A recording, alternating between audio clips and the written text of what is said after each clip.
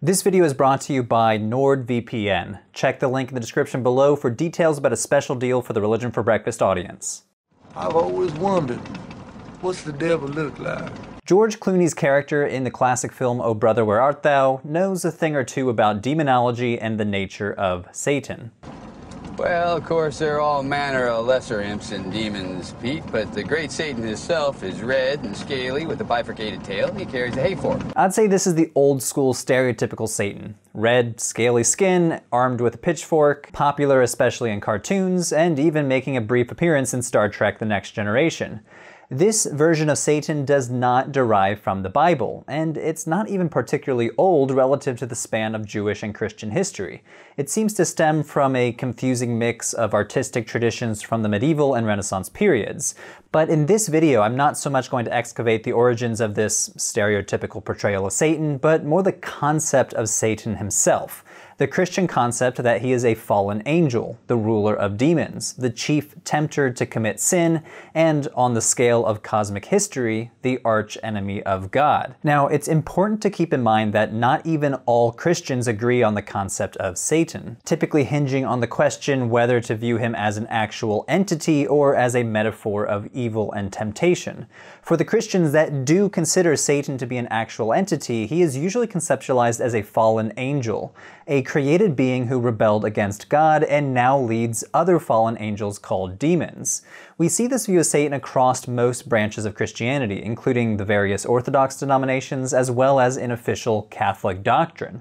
Pope Francis, in particular, references Satan all the time, specifically saying, We should not think of the devil as a myth, a representation, a symbol, a figure of speech, or an idea. This mistake would lead us to let down our guard. Protestants are split when it comes to attitudes about Satan. Some denominations tend to interpret him metaphorically, while evangelicals tend to view him as a real entity. And for many Pentecostal Christians, which scholars sometimes categorize under the umbrella of evangelicalism, Satan is a real, active, malevolent threat playing a significant role in ongoing demonic warfare. Of course, I'm generalizing here at the denominational level. Remember, religions are internally diverse. Even within a single denomination or a single church, you'll find Christians holding different opinions about Satan. Survey data about belief in Satan is sparse, and some of it is contradictory, but one Barna survey from 2009 found that upwards to 40% of American Christians strongly agreed that Satan is not a living being, but is a symbol of evil. So, disbelieving the reality of Satan is by no means a fringe opinion, but today we'll be examining the history of the concept that Satan is a real fallen angel and the arch nemesis of God. As we'll see, Satan has a history, and this concept evolved over time. I'm gonna lead you down the path that rocks. Let's start with ancient Israelite religion and the texts of the Hebrew Bible. In the Hebrew Bible, the notion of a singular supreme evil entity and opponent to God is completely absent. The Hebrew word Satan does appear on a few occasions, usually translated as adversary or accuser. But in the earliest sections of the Hebrew Bible, the noun simply refers to human adversaries. For example, in 1 Samuel 29:4, the Philistines refer to King David as a potential adversary, using that same Hebrew noun. But in the later texts in the Hebrew Bible, the concept seems to evolve into some sort of divine job title, kind of like a prosecutor. The most notable biblical reference to this divine prosecutor appears in the book of Job. In the opening chapters of Job, God presides over some sort of divine court or divine council of heavenly beings. A being called the Satan, or the accuser, is present as well. But as I said, the Satan here is not so much a name as it is a job title. The accuser appears as a sort of legal adversary in a divine court. Notably, the Hebrew here refers to this Satan as the Satan, with a direct object marker, suggesting that this is a particular recurring character. This divine adversary tries to find Job guilty of willing to give up his faith and sin against God. The Satan also appears in the book of Zechariah as a divine prosecutor, accusing the high priest Joshua of some sort of crime. The angel of Yahweh basically plays the role of the defendant's lawyer. Notice that neither of these references mirror later Christian conceptions of Satan. The adversary or the accuser in Job is not a prince of demons. He is not a fallen angel, nor is he an absolutely evil antagonist of God. He actually seems to be part of God's divine council, but it's significant that both of these mentions appear in literature composed during or after the Babylonian exile. For those of you that know your ancient Israelite history, the Babylonians sacked Jerusalem in 586 BCE and carried into exile many of the elites from the kingdom of Judah. When the Achaemenid Persian Empire defeated the Babylonians, the Achaemenids allowed them to return to Judea. Nothing before the Babylonian exile comes close to the Christian concept of Satan. No fallen angels that rules other fallen angels, no specific enemy of God, but scholars surmise that something must have happened during this period that sparked this conceptual evolution from lowercase s Satan to the Satan, a specific recurring adversary. And that something might have been Zoroastrianism. So, for a period of two centuries, from when the Jews returned from the Babylonian exile in 550 BCE until Alexander the Great conquered the region in 323 BCE, Judeans were under Persian control in one form or another. Judea itself remained part of the Achaemenid Persian Empire. So, scholars theorize that the exiled Judean elite must have come into contact with Persian religious functionaries and developed new theologies in light of the new religious ideas that they were hearing from the Persians, specifically Zoroastrian ideas. Zoroastrianism is a very ancient religion still practiced today that originated in ancient Iran. It teaches that the divine being, Ahura Mazda, is a perfectly good being locked in constant battle with a wholly evil being named Angra Mainyu.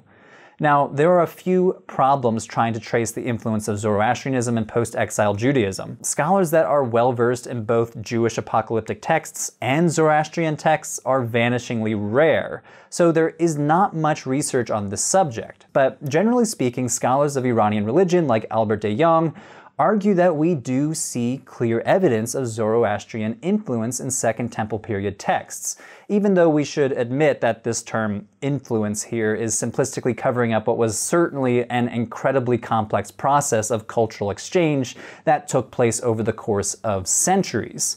An obvious, though superficial example of this influence is the demon Asmodeus, who appears in the book of Tobit as a particularly wicked demon and the main antagonist to the story. This name, Asmodeus, seems to be etymologically linked to the Zoroastrian being Ashmadeva, a lieutenant of Angra Mainyu. But we see more systematic influence in later Jewish texts insofar as everybody seems to start theologizing about a cosmic struggle between good and evil, specifically a struggle between a spiritual being of goodness versus a spiritual being of evil, and texts that rhetorically link these beings to light and dark. The clearest example of Iranian influence appears in the Dead Sea Scrolls.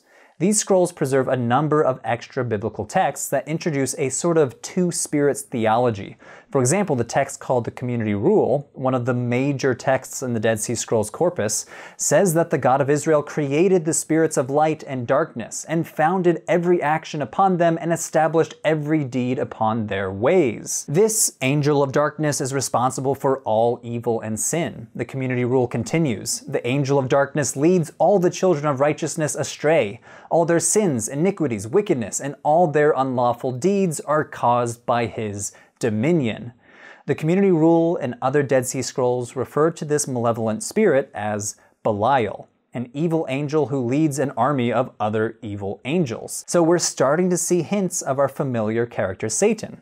Another text, the War Scroll, describes a final battle between the sons of light and the sons of darkness. The archangel Michael leads the sons of light, while the malevolent angel Belial leads the sons of darkness. So many scholars see this balance of light and dark, Michael and Belial, good and evil, as clear evidence of Zoroastrian influence among some Jewish sectarian groups during the Second Temple period.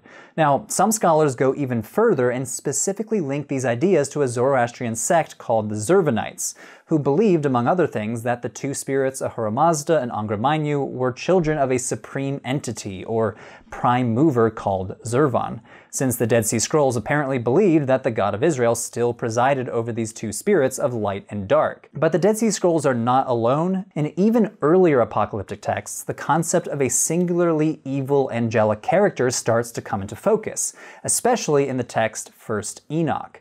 First Enoch is a big expansion of a story in Genesis chapter 6 about angelic beings called the children of God seducing human women who then give birth to the Nephilim, which may come from the Hebrew verbal root to fall. These were devious angels who taught humans all sorts of evil things like magic, astrology, and war. The Book of Enoch has various names for a bad guy in chief leading these angels, but it's not Satan or Belial. The chief bad guy in the earliest section of Enoch, called the Book of the Watchers, is confusingly called Shemihaza or Asael. Shemihaza is opposed by the archangel Michael, Asael is opposed by the archangel Raphael, but in another section, the four archangels seem to associate Shemihaza with Asael and suggest that God has given him authority. In another section of 1st Enoch, the so-called dream vision, the angels appear as stars, and Asael is the first to fall. So here we're seeing the idea of evil angels literally falling from the heavens. The word Satan does appear in 1st Enoch, but it does not seem to be a specific name. One section uses the word Satans as a classification of fallen angel. Enoch says that he heard the voice of an archangel driving away the Satans. Other verses use the word Satan as a singular proper noun, but scholars debate whether we should simply translate this as the adversary and not as a specific name. This seems to be the case in the Book of Jubilees, which is another apocalyptic text that expands on the Book of Genesis. Jubilees introduces the character Mastema, who is cast as the leader of demons and who is referred to as the Satan, though again, there, this is more of a title and not so much a proper name, and seems to be closer to the character of the Satan in Job as a tester or accuser. So, to summarize, an evil leader of fallen angels or evil spirits in general becomes a recurring character in Second Temple apocalyptic texts. Shemihaza, Asael, Belial, Mastema, the Satan, and it's out of this cultural context that the early Jesus movement emerged. So, Let's turn now to the New Testament. Unlike the Dead Sea Scrolls, the name Belial is rare in the New Testament. The Apostle Paul mentions Belial to refer to the evil antithesis to Christ, but generally speaking, the New Testament refers to the chief adversary of God by the word Satan, or by the Greek word diabolos, which is a direct translation of the Hebrew word satan and also the origin of English words diabolic and devil. Satan in the New Testament continues in his role as a prosecutor or tester of some sort. So, for example, when he tests Jesus in the desert.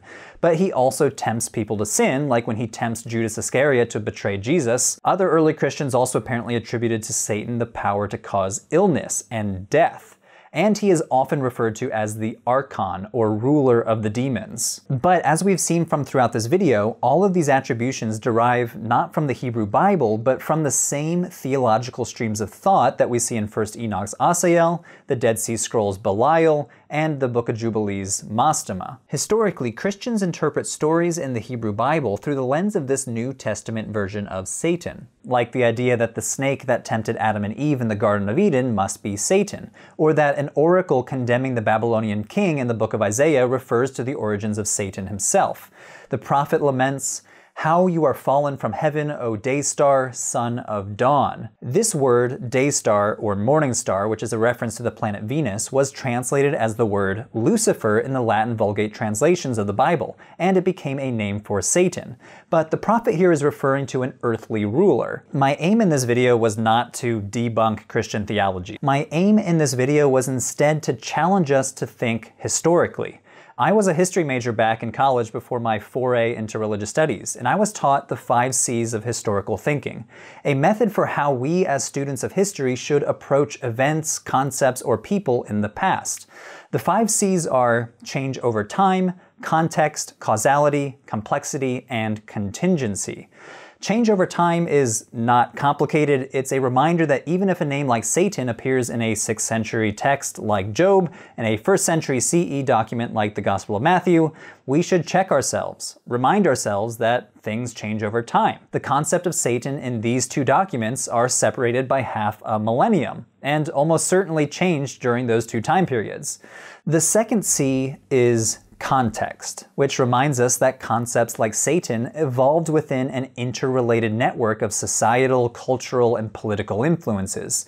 In the case of Satan, he seems to have evolved in the context of the Achaemenid Persian Empire, and later the Hellenized Empire of Alexander the Great. So we should look to the conditions of these two historical and cultural contexts when analyzing Satan. Then we have causality and complexity. Figuring out causality is difficult because, as the historians Thomas Andrews and Flannery Burke write, scientists can repeat experiments again and again to figure out cause and effect. But for historians, the past has already happened. We can't really repeat our experiments to figure out what caused what effect. We can argue that Zoroastrianism influenced the evolution of Satan, but we can't really pin down the precise cause and effect. Who was the first Zoroastrian priest to sit down with an exiled Israelite and debate about the nature of good and evil? We don't have access to that sort of data. So, in order to figure out causality, we need to rely on logic and probability rooted in the study of primary source documents. But then there is complexity. Complexity is the reminder that everything has multiple factors. It would be way too simplistic to say Zoroastrianism caused the concept of Satan, because reality is always messier and more complicated than that. And finally, contingency, probably the most difficult concept in the 5C framework. To argue that history is contingent is to claim that every historical outcome depends upon a number of prior conditions. This is a reminder that everything is connected. The Babylonians conquered the kingdom of Judah, then they carried them into exile. Then the Achaemenids conquered the Babylonians, and then they allowed the Judeans to return. It is a string of contingent events stemming from prior conditions, and changing any one of those prior conditions might have led to a completely different future. Contingency is a corrective for the historical fallacy of teleology the notion that history is headed toward a predetermined destination. It was very in vogue in the early 20th century for historians to write teleological histories of Christianity, that the modern brand of Christianity that we know was destined to prevail as a new religion over the old paganism of the Roman Empire. When in reality, if we were to change one condition or another in this string of contingent events, maybe a completely different sect of Christianity would have prevailed, like the sect of Christianity that interpreted the snake in the Garden of Eden as the good guy. So, when we approach any concept in any religion, remember to apply the 5C framework to help us think historically about religion. Thanks again to NordVPN for supporting this episode. If you'd like to protect your data from other malevolent entities, then NordVPN is a great tool. A VPN, or a virtual private network, is a service that protects your internet connection and online privacy. It encrypts all of your internet traffic and masks your IP address, so you can surf the web privately while protecting your data and your online identity. NordVPN is a great option to protect your data on the go as well, especially especially if you use a lot of public Wi-Fi connections or work overseas like myself. You can choose from 5,500 different servers in 60 different countries, meaning that you can enjoy secure internet browsing across borders, which is critical for people like me who travel a lot. NordVPN also has a strict no data logging policy. They don't track, collect, or share your private data. For NordVPN's birthday, every purchase of a two-year plan will get you one additional month for free and a surprise gift from NordVPN. To get this discount, just go to nordvpn.com slash RFB or use the coupon code RFB. Thanks everyone.